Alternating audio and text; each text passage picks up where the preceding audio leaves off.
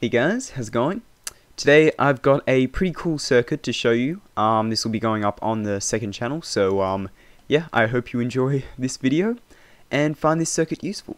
So pretty much what it is, it is a mass item counter, or just any sort of counter. At the moment this is doing a bit of a useless count. Um, it is counting from this comparator clock right here, how many pulses it does. But um, yeah, this is this is a pretty cool design. I think I'm pretty proud of it. Um, and it's actually the the output right here um, is going into these two droppers, which I guess is counting how many times it flips over. And uh, yeah, you can see visually uh, all how many items are in each of the droppers right here. You can see how close it is to flipping back over. So um, how does this work? Well, pretty much the heart of it is a couple droppers right here. As you can see, the items go between one to the other, and it only goes from one to the other, and then once one of them is full, um, you know, obviously the one that it's going into, once this is full, it will um, go through this comparator and actually turn this on because this is full um, signal strength and it will only turn on if it's full signal strength, which is obviously if every item is in here. And it will send a pulse through here and flip all of these over so it'll actually start dropping from this side to this side and then um, it'll read from this side to see when it's full and do the whole thing again.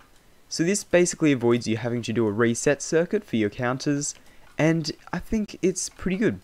Anyway, um, it's about to flip over here so I will show you uh, what it's like when it flips over.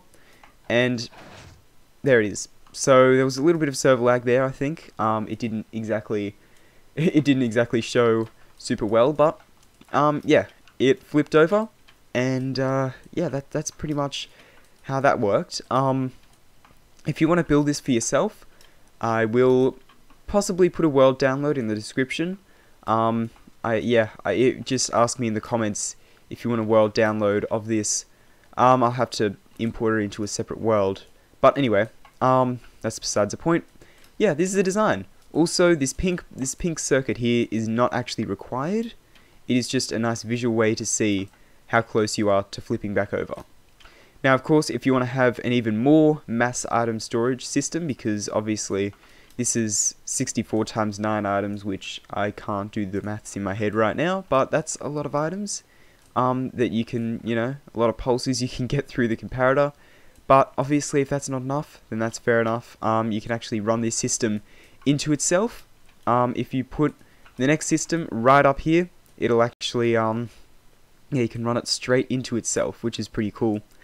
And um, yeah, the way you the way you do that is just by running uh, literally like this. The repeaters just like that and I accidentally flipped it over when I wasn't supposed to because Redstone updates. Yeah, um, yeah, but that's that's pretty much how you would um, put it put another one here, tile it, I guess. And um, also something else to keep in note. These blocks, they don't have to be glass, but they do have to be a transparent block. So they can be uh, glowstone or slabs or anything like that. All of these, obviously the colors aren't necessary, but whatever block you want to put it on, and um, this pink circuit you don't actually need right here. You don't need to include that if you don't want to. Anyway, um, I'm going to stop updating the redstone so it uh, stops pulsing and flipping over when it shouldn't be doing that. Um, also, items in the dropper, it actually depends on what you want the uh, amount of items to go between. So you can use um, items that only stack up to 16, for example snowballs right here. Um, if we just take all these items out, you will see that it doesn't actually matter if you take them out and they do stuff like that. It'll um, be perfectly fine. If we put the snowballs in here, uh, you can see that they'll actually go from one side to the other and you'll see this redstone lamp climbing up a lot faster than um, yeah than originally. So that's pretty much the whole that's pretty much the whole circuit here. Again, if you want a world download, let me know in the comments and I'll be sure to put that in the description and also reply to your comment with it. Um, but yeah, I can definitely see where this would be applied in survival Minecraft. I think I might even build this on my Tazcraft world, um, in my Tazcraft base rather, and I think it's pretty cool. Anyway, guys, that just about does it for this episode. I hope you enjoyed. Um, if you did, please consider liking subscribing, whatever. Thanks for watching, and I'll see you guys later. Goodbye.